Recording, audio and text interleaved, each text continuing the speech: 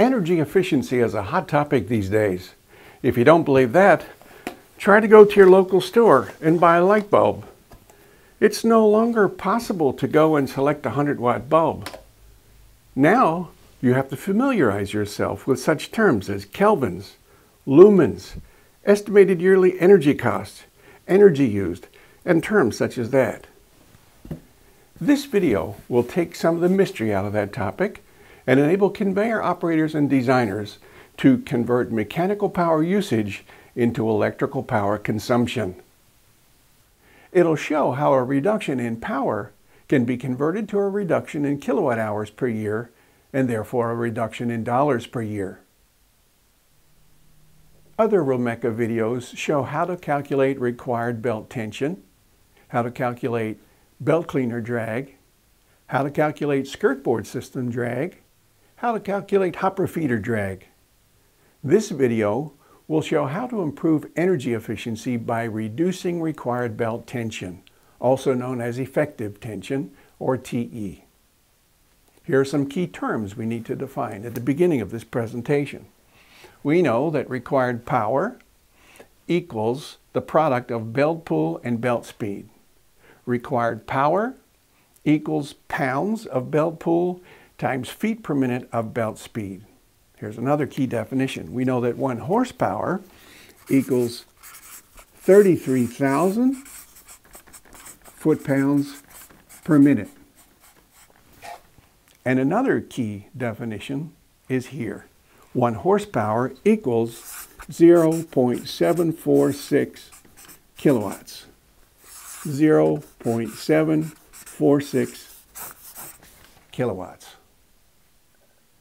A previous Rulmeca video showed how a 150 foot long conveyor with a 30 inch wide belt and a 10 horsepower drive system originally installed to carry 575 tons per hour at 300 feet per minute could be upgraded or modified to handle 800 tons per hour. Option 1 recommended to handle 800 tons per hour, the system be fully skirted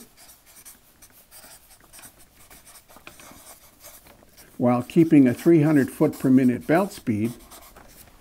Option 2 recommended the use of a standard skirt at 12 feet long, but a 415 foot per minute belt speed. Standard skirt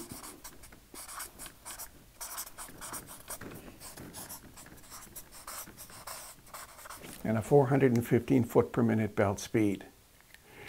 Each option required the purchase of a new drive system. The previous video showed that if the facility runs 24 hours a day, 365 days per year, and if the electric utility charges 10 cents per kilowatt hour, the two options would compare as follows. Option 1 would have a power consumption of 122,200 kilowatt hours per year at an annual cost of $12,220. Option 2 would have a power consumption of 79,103 kilowatt hours per year at an annual cost of just over $7,900. Clearly, in this instance, option 2 is 35% more energy efficient than option 1. Let's explore how to calculate these differences. Option 1's required power equals a belt pull of 1,894 pounds times a belt speed of 300 feet per minute, giving us a power requirement of 568,200 foot-pounds per minute. We divide that by 33,000 foot-pounds per minute per horsepower. We apply a factor and we determine that the required power equals 18.7 horsepower.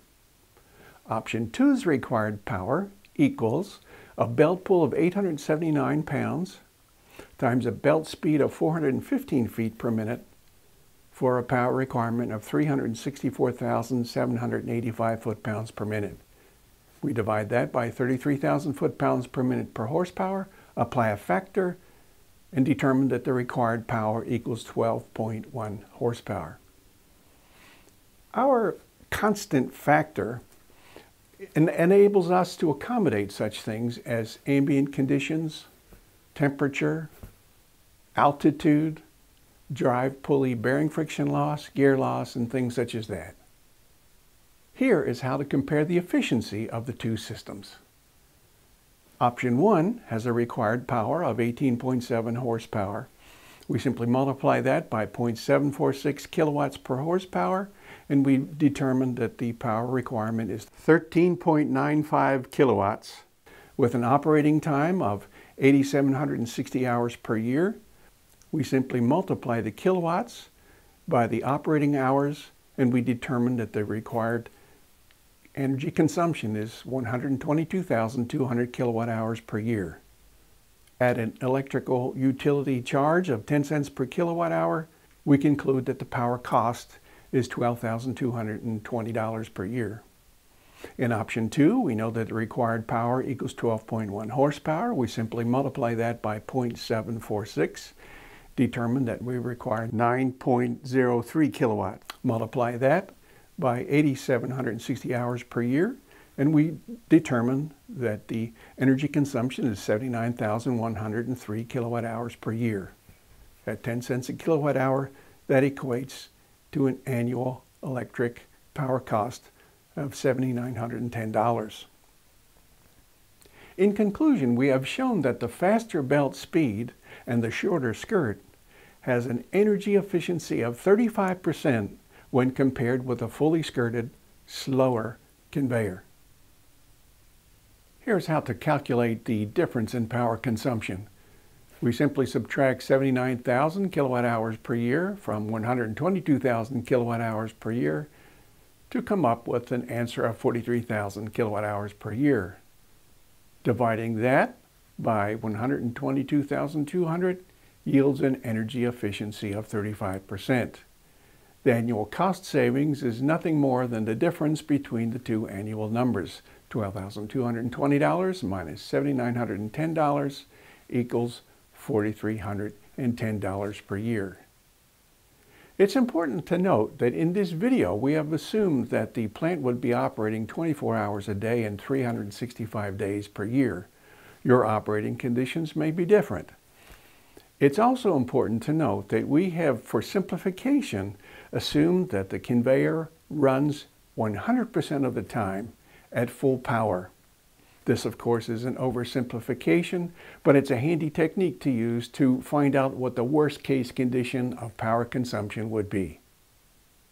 You can now use these techniques to evaluate conveyor efficiency improvements, such as replacing old two-transmission drive systems with newer single transmission drives, or adding hopper pressure relief to the opening of hoppers.